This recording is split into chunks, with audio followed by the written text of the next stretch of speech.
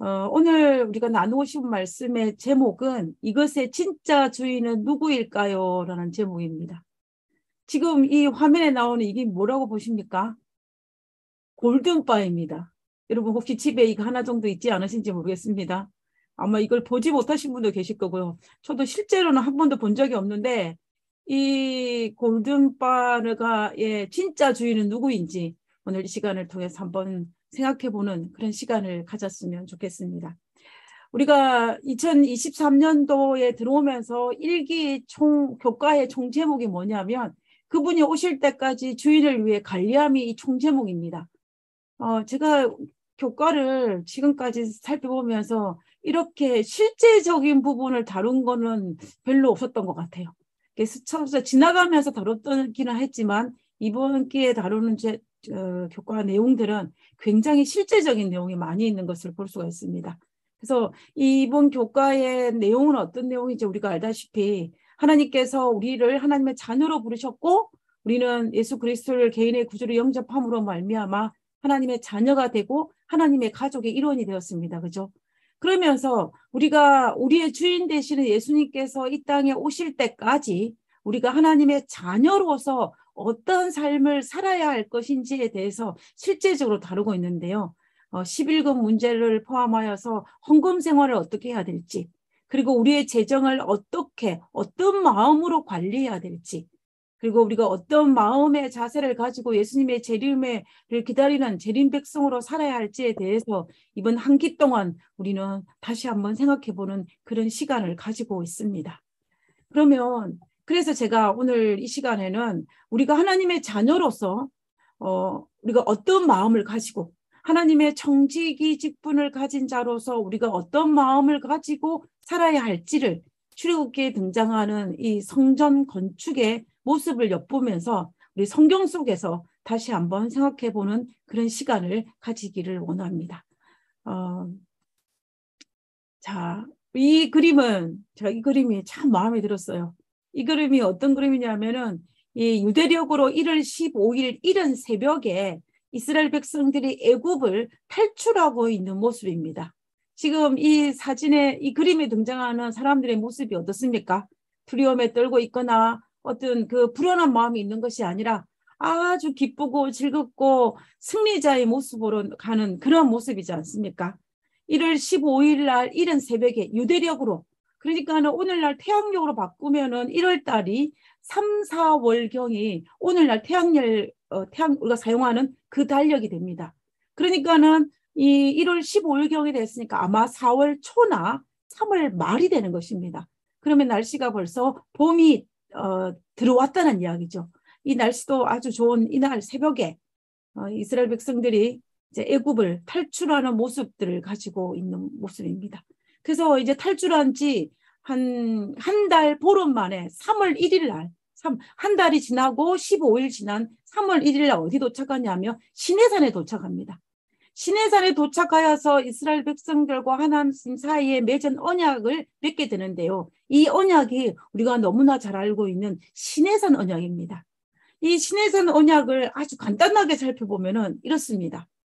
세계가 다 내게 속하였나니 누가 이 온 세상이 다 내게 속하였나니 너희가 내 말을 잘 듣고 내 언약을 지키며 너희는 모든 민족 중에 내 소유가 되겠고 너희가 네게 대하여 제상 나라가 되며 거룩한 백성이 되리라 라고 했습니다. 이 언약의 한마디로 말하면 나는 온 세상에 다 속한 분, 다시 말하면 전지전능한 하나님이니 너희가 만약에 하나님이 나의 말을 잘 듣고 나의 언약을 지키면 너는 모든 민족들 중에 가장 최고의 민족이 되게 해주겠다라는 것이 바로 시내산에서 맺은 하나님과 이스라엘 백성이 맺은 언약입니다.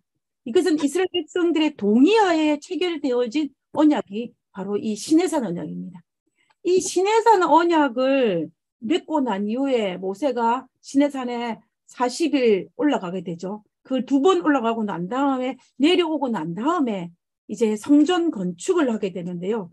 이 출애굽기에서 25장부터 40장까지 성막 건축에 관련된 모든 것들을 자세하게 기록하고 있는 것을 우리가 볼 수가 있습니다. 그리고 마침내 이 40장에 설정에 성막 건축을 마치고 성전 기물들을 성막 안에 넣음으로 말미암아 성전 건축이 마무리됩니다. 이 출애굽기 40장 17절에 보면 언제 마쳐지냐 하면은 둘째 해 출애굽을 한 지 그 다음 해라는 뜻입니다. 둘째 해 첫째 달 곧 그 달 초하루에 그러니까는 1월 1일 날 성막을 세우니라. 1월 1일 날 성막을 세우고 성전 기물들을 그 안에 다 넣음으로 말미암아 성막이 완성되는 것을 우리가 볼 수가 있다라는 것입니다. 자, 그렇게 우리가 시기적으로 한번 살펴보면요. 날짜를 대략적으로 전환을 보면 성전 건축을 하는 성막을 건축하는데 걸린 시간이 아마 6개월 정도 걸리지 않았을까라는 생각을 하게 됩니다. 자, 그러면은 질문입니다. 성막을 건축하는 데 있어서 첫 번째 1순위가 무엇일까요? 우리가 성막을 건축하는데 무엇이 가장 1순위가 되어야 한다고 생각을 하십니까? 1순위, 첫 번째, 무엇이 가장 우선시 되어야 될까요? 어, 저런 성막을 건축하는데 가장 우선시 되어야 할 첫 번째 1위는 뭐냐 하면은 성막을 지으려는 하나님의 뜻과 하나님의 명령이라고 생각합니다. 하나님의 뜻이 제일 중요하다는 거죠. 하나님의 뜻이 있어야 그 다음 것이 정, 그 다음 것을 이어갈 수가 있습니다.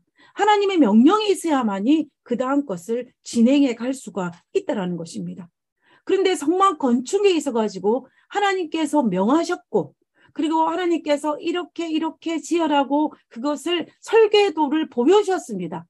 그러면은 이제 성막을 건축하기 위해서 제일 중요한 부분이 이루어졌으니까 이제는 성막을 건축하기 위해서 재정을 준비하고 그리고 그 위에 헌신할 사람들의 헌신, 헌신이 우리가 필요하다는 것입니다. 우리가 이것의 모습들을 통해서 우리의 삶에도 그대로 적용될 수 있는 것이 무엇이냐면요. 우리가 우리가 어떤 일을 할 때 무슨 무언가를 계획하고 무슨 일을 하고자 할 때 이것이 하나님의 뜻인지 하나님의 명령인지를 우리가 먼저 생각해 보아야 한다는 것입니다. 그 확신이 있고 난 다음에 그 응답을 받고 난 다음에 그리고 그것이 하나님의 뜻에 합당한지를 확인하고 난 다음에 그 다음 것으로 넘어가야 한다는 것을 우리가 충분히 여기에서 알 수가 있다는 것입니다. 결과적으로 성막을 건축하는 데 있어서 하나님께서 명하셨고 하나님께 설계를 통하여 이렇게 이렇게 지으라고 말씀하셨기 때문에 이제 이스라엘 백성들이 남은 것은 그 명령에 순종하는 것입니다. 그래서 그 명령을 순종하기 위해서 그들이 성전 건축을 하는데 필요한 이제 재정을 모으는 것을 볼 수가 있는데요. 그 재정이 얼마나 많이 들었는지를 우리가 성경을 통하여서 한번 확인해 보도록 하겠습니다. 출애굽기 38장 24절에 보면 출애굽 38장 24절에 보면은 성전 성막을 건축하는데 필요한 금의 재료가 나옵니다. 성소 건축의 비용으로 들인 금은 성소의 세결로 29달란트와 730세결이며 라고 했습니다. 29달란트입니다. 29달란트를 오늘날 우리가 계산할 수 있는 단위로 바꾸게 되면요. 한 달란트가 34kg이 됩니다. 그럼 이게 도대체 얼마큼인가? 제가 조금 전에 보여드렸던 이 골든바, 이 골든바, 손에 잡히는 이 골든바가 1kg이라고 그래요. 1kg. 이거는 이제 금의 그 환율에 따라서 바뀌기 때문에 이 금의 가치가 바뀌기 때문에 얼마인지 우리가 정확하게 알 수는 없지만 우리 손에 잡을 수 있는 이 한 덩어리의 금이 1kg입니다. 그러면 한 달란트는 이 금 골든바가 몇 개라는 것입니까? 34개라는 거죠. 34개. 그러니까는 우리가 금이 얼마나 필요했냐면 우리가 조금 전에 살펴본 것처럼 29달란트라고 했거든요. 그러니까는 이거를 오늘날 우리가 볼 수 있는 킬로그램으로 바뀌면은 986kg입니다. 그래서 여기 보이는 이 손에 잡히는 골든바가 총 몇 개가 필요하냐면 986개가 필요하다는 거예요.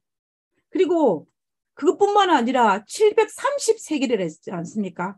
733개는 1세기는 11.4kg입니다. 그렇게 합치면은 이 성소 건축을 위하여서 필요했던 금은 우리가 상상을 초월하는 어마어마한 양이었다는 것을 우리가 알 수가 있어요. 그것이 오늘날 우리가 돈으로 바꾸면 이 600, 혹은 우리가 상상을 초월하는 그 어마어마한 돈이 되는 것입니다. 이렇게 많은 돈이 필요했어요.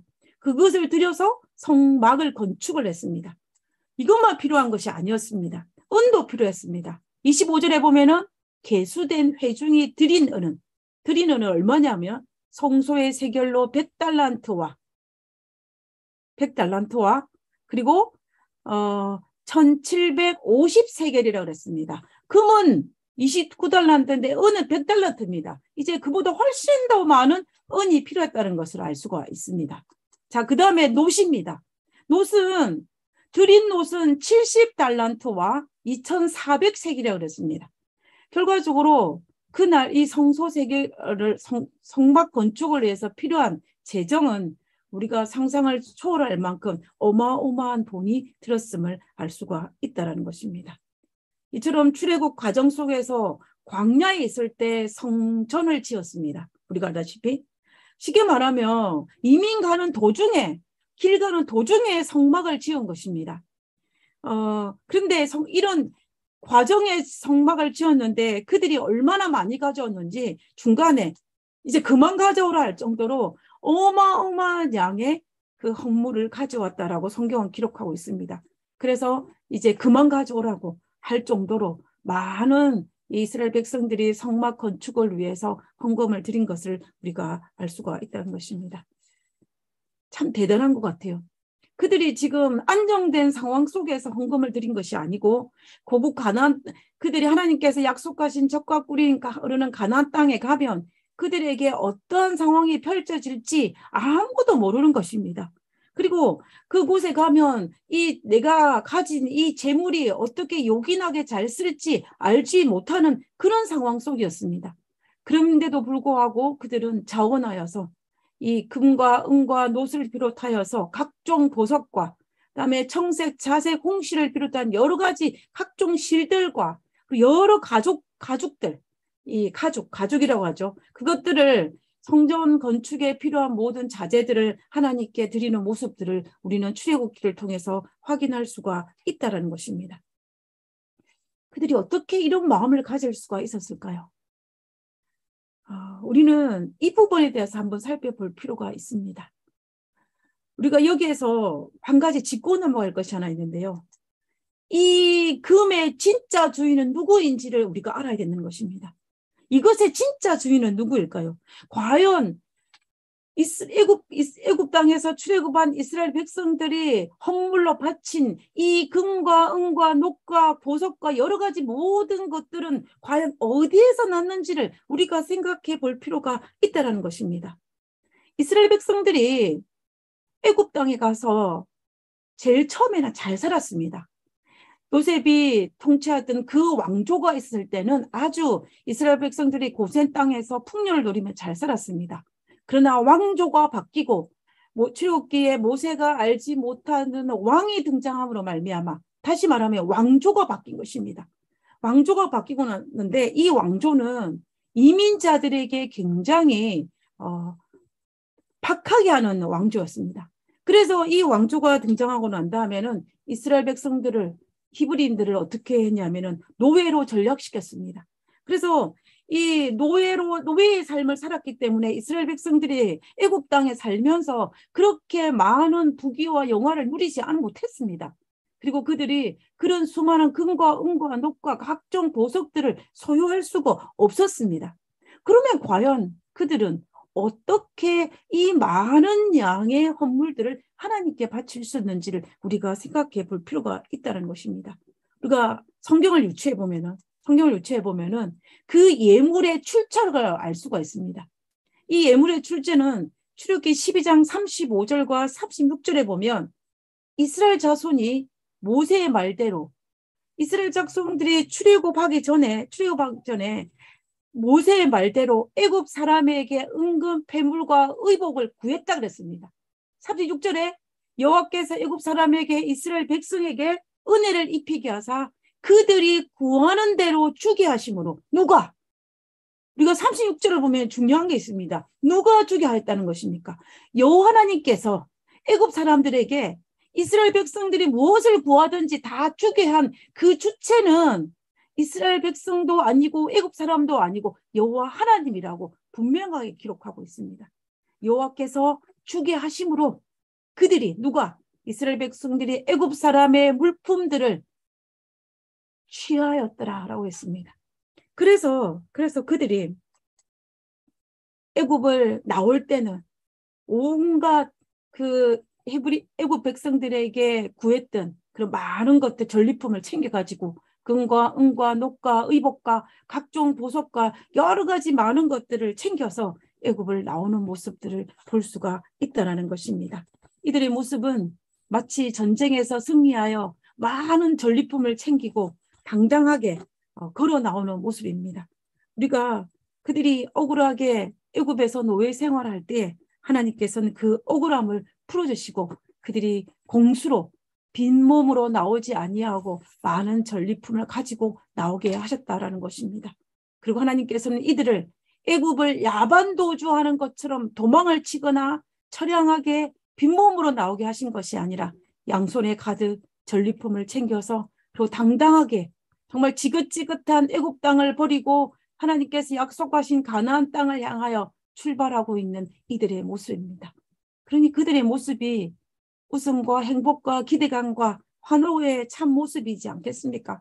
그래서 저는 이 그림에 나와 있는 이 모습들처럼 그 출애굽한 그날 새벽에 이스라엘 백성들의 표정도 분명히 이렇게 했을 것이라고 생각합니다. 성경에 보면 하나님께서 이스라엘 백성들이 빈몸으로 나오지 아니하고 이런 많은 전리품을 가지고 나올 것이라는 것은 이미 하나님께서 약속하신 것입니다. 제일 먼저 이 약속이 주어진 것은 언제였냐면 하나님께서 아브라함에게 약속하셨어요. 창세기 15장 13절에 보면 여호와께서 아브라함에게 이르시되 너는 반드시 알라 내 자손이 이방 이방에서 객이되어 그들을 섬기겠고 그들을 400년 동안 내 자손을 괴롭히리니 그들이 섬기는 나라를 내가 징벌할지며 그 후에 내 자손이 무엇을 가지고 큰 재물을 이끌고 나오겠다라고 했습니다. 이게 하나, 하나님께서 아브라함에게 한 약속입니다. 그리고 하나님께서 또 미디안 광야에서 양을 치고 있을 때에 모세를 불러가지고 내 백성 내 백성을 가나안 땅으로 데려가라고 하실 그때에도 하나님께서 모세에게 약속하셨습니다. 출애굽기 3장 21절입니다. 내가 애굽 사람으로 이 백성의 은혜를 입히게 할지라 너희가 나갈 때에 어디를 나갈 때에 애굽을 나갈 때에 너희가 빈손으로 가지 아니하리니 22절에 여인들은 모두 그 이웃 사람과 및 자기 집에 거류하는 여인에게 은폐물과 금폐물과 의복을 구하여 너희 자녀를 꾸미라 너희는 애굽 사람들의 무엇을 취하리라 물품을 취하리라 라고 했습니다. 하나님께서 아브라함에게 약속하셨고 하나님께서 모세에게 약속을 하셨습니다. 그리고 마침내 이 애굽 땅에 열재앙이 내려서 초토화가 되고 난 다음에 이제 마지막 열 번째 재앙이 내리기 전에 하나님께서 모세에게 다시 언급하셨습니다. 뭐라고 언급하셨냐면은 백성에게 말하여 이제는 됐으니 사람들에게 가서 각기 이웃들에게 은근 폐물을 구하라 하라. 그 말씀을 하시는 것입니다. 그래서 모세가 그 이야기를 백성에게 했고 백성은 또 성경에서 말하는 그 이웃들에게 가가지고 은근 폐물을 구한 것을 우리가 알 수가 있다라는 것입니다. 한번 상상을 해보시기 바랍니다. 지금 상황이 어떤 상황입니까? 애굽 땅에 열 재앙이 내렸는데 아홉 가지의 재앙이 이미 내린 상태였습니다. 그래서 애굽 땅은 완전히 초토화된 상태였습니다. 그로 말미암아 애굽 백성들은 이 재앙으로 말미암아 공포에 사로잡혀 있었습니다. 만약 여러분이 이때의 이스라엘 백성이라면 모세가 너의 이웃에게 가가 성경에는 이웃이라고 그랬습니다. 이웃에 가가지고 은금 폐물을 구하라 그랬는데 여러분이 만약에 여러분이라면 누구 집에 가서 은금 폐물을 구하 달라고 요청을 하시겠습니까? 평상시에 나에게 그래도 그나마 선대를 베풀고 그나마 나에게 잘해주었던 이 애국 백성에게 가가지고 너희 집에 있는 좋은 것들, 값진 것들 다 달라고 요청을 하시겠습니까? 만약에 저를 하면은 그렇게 하는 것이 아니라 평상시에 나를 좀 학대하고 나에게 조금 안 좋게 됐던 그 집에 가가지고 하나님께서 명하셨으니 당신 집에 있는 모든 것들 다 내놓으라고 이렇게 말을 할 것 같아요. 아, 성경에는 단순히 이웃이라고 표현이 되어 있습니다. 그런데 무저와 선자를 읽어보면은 어, 뭐라고 자세히 기록됐냐면 지금까지 노예로 일을 시키면서 품삯을 주지 않았던 보수를 주, 이, 그 품값을 주지 않았던 집에 찾아가서 그 품값을 달라고 요구를 하였고 그 애굽인들은 두려움에 사로잡혀 가지고 이스라엘 백성들이 원하는 대로 다 주었다라고 되어 있습니다. 결과적으로 이스라엘 백성들은 애굽을 탈출할 때 그들이 정말 빈손으로 오지 아니하고 그들이 애굽 땅에서 수고하고 했던 그 모든 값을 다 한꺼번에 한꺼번에 돌려받고 이제 어, 애굽을 나오는 그들의 모습을 볼 수가 있는 것입니다. 하나님께서는 이스라엘 백성들이 애굽에서 노예로 산 그 억울함을 풀어주신 것입니다. 얼마나 우리 하나님이 정말로 대단하신 분인지를 우리가 알 수가 있습니다. 이 이스라엘 백성들이 애굽 땅에 있을 때 그 억울하고 노예로 살면서 억울하고 한 맺힌 이 모든 것들을 이 마지막 때에 하나님께서 다 갚아 주신 것입니다. 어, 여러분 그 야곱이 야곱이 외삼촌 라반의 집에서 20년을 봉사하지 않습니까? 20년을 봉사했는데 이 라반이 야곱을 공수로 보내려고 했어요. 그때 하나님께서 어떻게 합니까? 하나님께서는 야곱을 공수로 보내지 아니하시고 강수로 보내지 아니하시고 야곱이 많은 재산을 가지고 나오게 하신 것을 우리는 볼 수가 있는데요. 이때에 야곱이 얼마나 많이 가지고 나오는지를 우리가 추측할 수 있는 성경의 본문이 있습니다. 그 본문을 한번 살펴보도록 하겠습니다. 어, 이쭉 창세기 32장 13절에 있는 이 말씀은 어떤 내용이냐면 에서와 요곱, 야곱이 만났을 때 에서가 자기를 죽이기 위해서 어, 군사를 데리고 온다는 소식을 듣고 야곱이 이 에서의 마음을 달래기 위해서 이 예물을 택하는데 그 예물이 얼마나 많은지를 설명하고 있는 부분입니다. 그 부분을 한번 살펴보겠습니다. 창세기 32장 13절입니다. 야곱이 거기서 밤을 지내고 그 소유 중에 이 그 소유가 어떤 소유입니까? 외삼촌 라반의 집에서 내 몫이라고 있는 내 재산을 들 중에서 행, 나의 형인 에서를 위하여 예물을 택하니 14절에 이제 쫙 나옵니다. 암염소가 얼마고? 200이요. 200마리입니다. 수디염소가 20이요. 암양이 200이요. 숫양이 20이요. 전단은 낙타가 30과 그 새끼요. 암소가 40이고 황소가 열이요. 암나기가 20이요.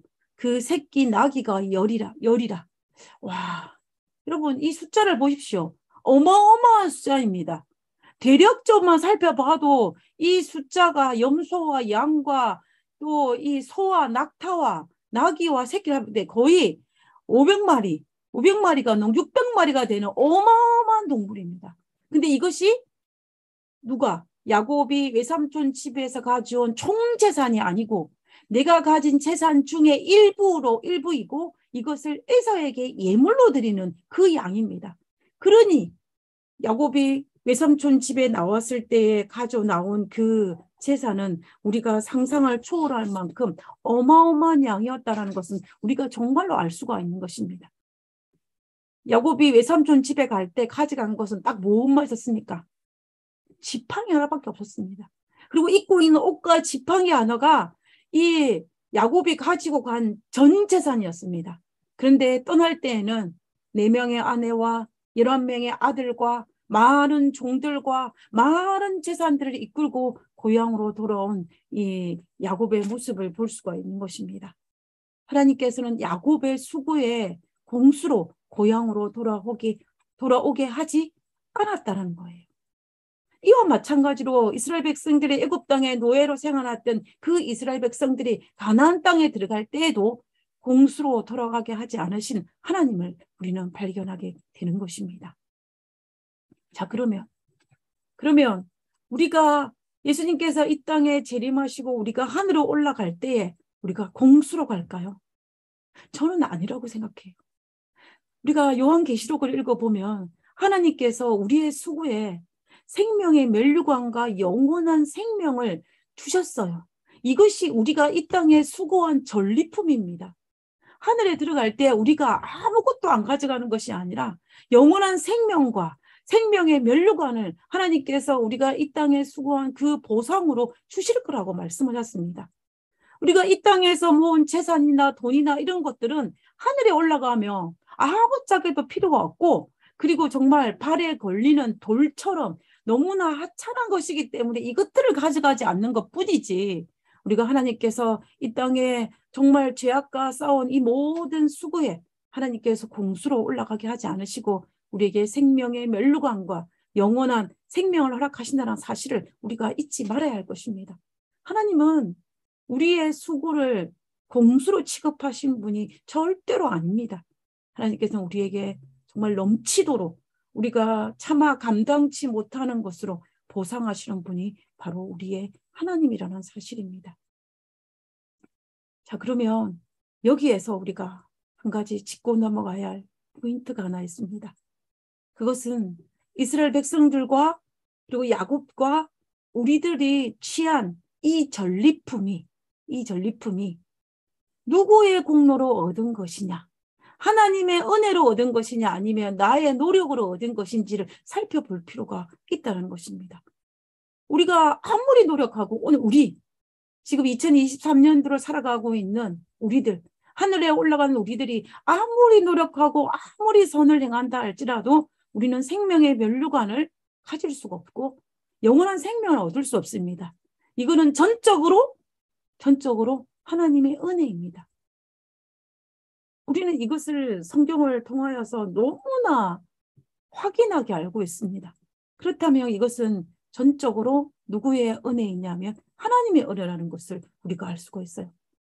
우리가 구약에 있는 성경의 역사를 살펴볼 때, 특별히 전쟁 역사를 살펴볼 때, 하나님께서는 전적인 하나님의 도움으로 그 전쟁에서 승리할 경우에는 하나님께서 전리품을 챙기게 하지 못하셨어요.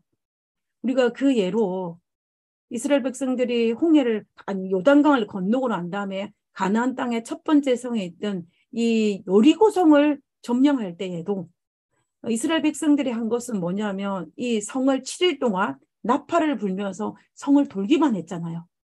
그래서 그러고 난 다음에 그러고 나니 나팔을 부니까 성이 무너졌습니다. 이때 하나님께서 뭐라고 말씀하셨냐면 이 여리고 성에 있는 전리품을 챙기지 못하게 하셨어요. 그리고 이뿐만 아니라 그 사울이 사울이 왕이었을 때에 아말렉과의 전쟁을 일으켰는데 이때에도 하나님께서 전리품을 챙기지 못하게 하셨습니다. 전리품을 챙기지 못하게 하셨어요. 그러면 이스라엘 백성들이 애국과의 저 애국과 애국 왕 바로와 애국 사람들과 싸워서 승리하고 출애굽하는 그 과정들 속에서 이스라엘 백성들이 한 것이 무엇이 있습니까? 그들이 한 것은 아무것도 없어요. 그들이 한 것은 무엇이냐면 잠잠히 주의 구원을 바라본 것 외에는 아무것도 없습니다. 하나님께서 하나님께서 바로 왕과 싸우셨고 하나님께서 바로의 군대와 싸우셨고 하나님의 하나님의 능력으로 정말 열지양이 내렸고 그리고 하나님의 능력으로 홍해 바다가 갈라지고 합쳐짐으로 말미암아 바로의 군대가 이 홍해의 물에 수상되는 이런 모든 것들을 경험하지 않았습니까? 그래서 정말로 어, 이 전쟁에서 하나님께서 거 100% 하셨고 이스라엘 백성들이 한 것은 단지 잠잠히 그의 구원을 바라본 것 외에는 없는데 하나님께서는 그들의 애굽 땅에서 수고를 기억하여서 그들이 감당할 수 없는 어마어마한 양의 전리품을 챙겨서 당당하게 승리자처럼 승리자처럼 그들이 애굽 땅을 어, 탈출하고 홍해를 건너서 가나안 땅을 향해 달려갔다라는 것입니다. 얼마나 하나님께 감사한 일인지 모릅니다. 그래서 우리는 여기서 정말 중요한 것은 우리가 이 모든 것들이 하나님의 은혜로 되었다라는 것은 우리가 인정을 해야 하는 것입니다. 나의 능력으로 된 것이 아니라 하나님의 능력과 하나님의 은혜로 되었음을 우리는 결코 부인할 수가 없다는 것입니다. 그런데 이렇게 하나님의 은혜로 주어진 이 전리품을 이스라엘 백성들이 애굽을 탈출하고 가져갔던 이 전리품을 어떻게 사용했는지를 우리가 한번 살펴볼 필요가 있는 것 같습니다. 자, 그들이 그 전리품을 가지고 사용했던 첫 번째는 무엇이었냐면은 출애기 32장에 등장합니다. 출애기 32장에 보면은 그들이 하나님께서 하나님의 은혜로 주어진 그 전리품을 가지고 첫 번째 한 것은 뭐냐면 우상을 만드는 데 사용을 했습니다. 출애기 32장 4절입니다.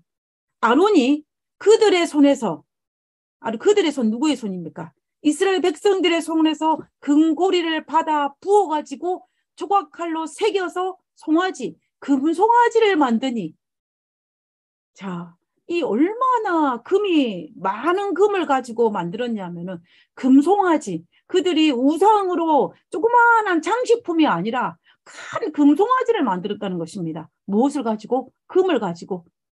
근데 이 금이 어디에서 나온 금입니까? 이 금도 이스라엘 백성들이 출애굽할 때 애굽 백성들에게 전리품으로 챙겨온 그것입니다. 근데 그, 그 받은 거를 가지고 무엇을 만들었다고요? 금송아지를 만든 것입니다. 그들이 말하다 이스라엘아 이는 너희가 너희를 애굽 땅에서 인도해낸 너희의 신이로라. 우상입니다. 하나님의 은혜로 주어진 것을 우상을 만드는 데 사용했으니 정말로 이 일을 어찌하면 좋다는 말입니까? 이것을 오늘날 우리의 삶에 비유하면 어떻게 비유할 수가 있을까요? 하나님께서 은혜를 주신 것을 나의 마음대로 그리고 하나님께서 기뻐하시 않은 대로 하나님께서 가정이 여기는 것으로 사용했다라는 것입니다. 혹시 나도 하나님께서 내게 주신 그 전리품을 축복을 허망한 이렇게 허망한 곳에 사용하지 않는지를 우리가 우리 자신을 살펴볼 필요가 있다는 것입니다. 세상 사람들도 이렇게 말합니다. 돈은 버는 것보다 쓰는 것이 중요하고 돈은 정말 개같이 벌어서 정성까지 쓰라는 말이 있습니다. 그것은 정성까지 쓰라는 것을 잘 쓰라는 것입니다. 필요 적절하게 요긴하게 필요할 때 잘 사용하라는 그 의미가 그 말 속에 포함되어 있는 것입니다. 이만큼 돈은 버는 것보다 더 중요한 것이 사용하는 것입니다. 그런데 하물며 하나님께서 은혜로 주신 것을 잘 사용해야 되는데 이렇게 우상을 만드는데 사용했으니 하나님께서 주신 것을 정말로 잘못 사용한 단적인 예가 바로 이것이라는 것을 우리가 알 수가 있습니다. 자, 그러면 그때 그들이 내어서 만든 이 금송아지가 어떻게 되었습니까? 그때 사용했던 그 금을 다시 회수하여서 인마의 포켓을 할 수 있었습니까? 성경은 뭐라고 이야기하냐면요. 출애기 32장 1절에 보면 모세가 그들이 만든 송아지를 가져다가 어떤 송아지입니까? 금송아지예요. 금으로 만든 금송아지를 불살라 부수어 가루를 만들어서 물에 물에 뿌려 이스라엘 자손에게 마시게 하니라 그랬습니다. 다시 말하면 이것이 허망하게 다 사라졌다는 이야기예요. 그들이 금 송아지를 만들 만큼의 금이었으니까 모르긴 몰라도 정말 어마어마한 양의 금이었을 것입니다. 근데 그 검이 어떻게 했냐면 다 공중에 사라졌다는 거예요. 허망하게. 그것도 아픔과 상처만 남기고 사라진 것입니다. 우리가 하나님께 주신, 주신 이 은혜를 정말 하나님께서 바라시고 원하시는 곳에 사용하지 아니하고 하나님께서 하나님을 가슴 아프게 하고 이렇게 사용될 때에 마지막 결론은 이것입니다. 가루로 만들어 물에 뿌려지고 마시게 되는 정말 아픔과 상처만 남기고 사라지는 결과가 이르러 오는 것입니다. 자, 그러면 이제 하나님과 전리품을 주신 그것을 또 다른 경우는 어떻게 사용되었습니까? 성막의 재료로 사용하였습니다. 우리가 조금 전에 살펴보았던 것처럼 하나님께서 광야에서 성막을 짓게 명하셨을 때 이스라엘 백성들이 자원하여 내어준 그 성막의 재료로 말미암아 그 헌물로 말미암아 성막이 성막이 지어졌다는 것입니다. 광야에서 성족 성전을 건축할 때 필요한 재료들로 충당이 되었습니다. 자, 우리가 금송아지를 지었던 그것은 허망하게 사라진 반면에 이 성전 건물에 지어졌던 이것들은 어떻게 되었습니까? 우리가 구약의 역사를 살펴보면은 이때 만든 성전 기물들은 사사 시대와 그리고 왕정 시대에 왕정 시대에 솔로몬이 성전을 지었을 때 그때 성전 기물들을 가져와서 솔로몬이 지은 성전에 갖다 두었다라고 분명히 기록하고 있습니다. 그러면 그때 헌물로 드린 그것이 어디까지 갔다는 거예요? 예루살렘 성전에 솔로몬이 지은 성전에까지 안치되었다라는 것을 알 수가 있습니다. 그리고 남방 유다가 멸망하고 성전 기물들이 바벨론에 가져갔을 때에 그들이 바벨론 포로 생활을 마치고 그 마치고 돌아왔을 때에 그들이 무엇을 가지고 돌아왔습니까? 그 성물들을 가지고 돌아갔다고 그랬습니다. 이 너부가 이 왕이 왕이 예루살렘에 있는 성전 기물들을 바벨론 땅에 가져갔고 그 바벨론 땅에 가져갔던 그 성전 기물들을 이스라엘 백성들이 포로 석방령이 내려서 다시 본국에 돌아왔을 때 가지고 왔습니다. 그리고 수르바벨 성전을 지었을 때 그들은 그 성전 기물들을 다시 안치하였을 것입니다. 그러므로 그들이 자원하여 드린 그 헌물들이 이렇게 오랫동안 많은 사람들에게 감동을 주고 많은 사람들에게 정말 큰 위로가 되는 그 역할을 하였음을 우리는 여기에서 볼 수가 있다는 것입니다. 그래서 우리가 하나님께 주신 그것을 정말 금송아지처럼 허망하게 사라지는 것처럼 사용할 수도 있고 그와 반면에 성막의 재료가 되어서 성막의 재료가 되어서 이렇게 가장 요긴하고 잘 사용할 수 있다는 것도 우리가 어, 알 수가 있다는 것입니다. 어떤 분이 적었는지는 잘 모르겠지만 제가 전 은혜가 되는 글이 있어서 제가 가져왔습니다. 그 글은 이런 글입니다. 아주 심플해요. 그분의 것입니다. 선악과는 그분의 것입니다. 누구도 그 과실을 먹을 수가 없습니다. 왜냐하면 창조주를 대신할 수 없기 때문입니다. 영광은 그분의 것입니다. 이 말은 사람에게 어울리는 용어가 아닙니다. 왜냐하면 사람은 영광을 그분께 드리는 자일 뿐이지 얻는 자가 아니기 때문입니다. 그리고 소유권은 그분의 것입니다. 누구도 그것을 취할 수가 없습니다. 왜냐하면 사람은 청직일 뿐 주인이 아니기 때문입니다. 우리가 창조주가 아니기 때문에 무엇을 먹을 수가 없고 선악과를 먹을 수가 없고 우리는 하나님께 영광을 드리는 자이기 때문에 우리는 영광을 받을 수 없다라고 이야기합니다. 그와 마찬가지로 우리가 소유하지 못했기 때문에 소유권이 우리에게 있는 것이 아니고 그분의 것이기 때문에 우리는 단지 청지기일 뿐이기 때문에 우리는 우리 자신의 소유권을 우리가 아니라고 오히려 그 우리의 모든 소유권을 그분의 것이라고 주장해야 된다라는 것입니다. 우리가 어, 헌물에 대한 첫 번째 가져야 될 생각은 이 재정이, 이 재물이 나의 것이 아니라 하나님의 것이라는 것을 가져야 하고 하나님의 것을 내 것처럼 사용하는 것이 아니라 하나님의 것을 하나님 것처럼 사용할 때에 그 사용이 얼마나 축복받는지를 우리는 성전 건축의 과정을 통해서 우리가 분명하게 알 수가 있습니다. 우리가 정말 어, 잘 벌어서 잘 쓰는 것은 성, 하나님께 받은 이 헌물들을 금송아지를 만드는데 사용하지 아니하고 뭘 하는 것 때? 성전을 지는데 사용할 때에 우리는 참으로 가치롭게 사용할 수 있다라는 것입니다. 그럴 때에 하나님께서는 이스라엘 백성들을 공수로 보내지 아니하신 것처럼 우리도 할 나라 갈때 하나님께서 우리를 공수로 보내지 아니하실 것이고 이스라엘 백성들이 이스라엘 백성들이 승리자처럼 전리품을 챙겨서 애굽을 탈출하여 가나안 땅에 들어갔던 것처럼 하나님께서는 우리도 우리도 정말로 승리의 개가를 뿜면서 이 지구를 떠나 영원한 생명의 멸류관을 가지고 하늘에 들어가게 될 것입니다. 우리 하나님께서는 우리에게 그렇게 하시겠다고 분명히 우리에게 약속하셨습니다. 그분이 바로 우리 하나님이십니다. 그분이 바로 우리의 주인이시고 그분이 나의 모든 것의 진정한 소유자이십니다. 소유권은 누구에게 있다? 그분에게 있다라는 것입니다. 그러므로 우리 모두는 그저 받은 것을 그저 받은 축복을 하나님께 돌려드릴 수 있는 우리 모두가 되었으면 좋겠습니다. 그래서 정말 하나님께서 바라시고 원하시는 그러한 어, 삶을 사시고 또한 그렇게 어, 우리에게 주어진 모든 것들을 사용할 수 있음으로 말미암아 정말 큰 축복받는 우리 모두가 되기를 간절히 바라면서 오늘 말씀을 마치도록 하겠습니다. 잠이 부르고 기도하고 마치겠습니다.